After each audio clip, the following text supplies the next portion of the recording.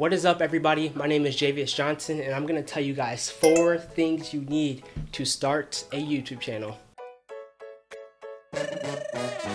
Alright, so the first thing you need, and this is not in any particular order, is a vision. You need to know what your channel is going to look like before you start it. You got to start visualizing and brainstorming on what type of content you want to put out, who are you to reach, how are you to help people through your videos. You got to have a vision of your YouTube channel. Second thing on the list is consistency and discipline. These are two big things when starting a YouTube channel. For most of us, when we start off a YouTube channel, we're not gonna be getting a lot of views or a lot of subscribers. But the one difference maker is consistency and discipline. You gotta be consistent when you're starting that YouTube channel. You gotta be consistent on the videos that you're putting out, on the ideas that you're generating. You gotta be consistent so people can see the value in your videos. People got to see how committed you are to your your channel, to your dream. If you're not committed, if people don't see that you're committed, they're not going to be committed either, right? And what commitment looks like for a viewer is them hitting that subscribe button and them watching every single one of your videos. And the second part of that is discipline, right? When you're not getting views that you think you should be getting, when you're not getting subscribers that you think you should should be getting, discipline needs to kick in. I know a lot of us, when that happens, we just want to quit, we just want to give up, we just, when we're editing our videos, we think nobody's even going to be watching this. You got to have discipline kicking in in that moment. You need that. The third thing you need is you. You!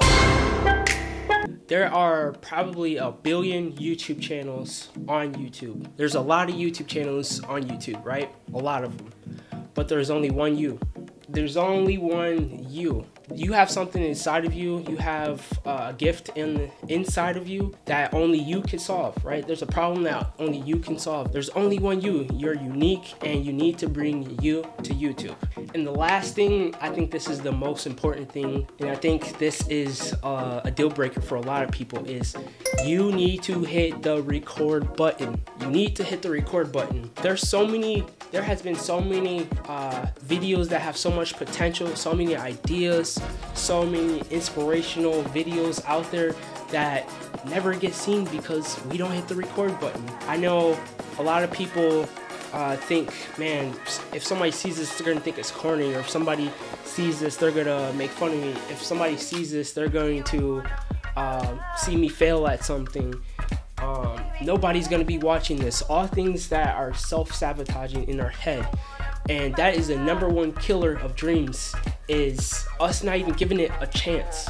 You gotta give your videos a chance. You gotta give your ideas a chance. You have to give your growth a chance. So hit that record button. That's all for my things that I think you need for having a YouTube channel. One thing you guys gotta remember when you start a YouTube channel, it's like a baby, right? When a baby is first born, it needs it needs nurturing, it needs care, it needs um, time to grow for it to be an adult. It needs things to build it up.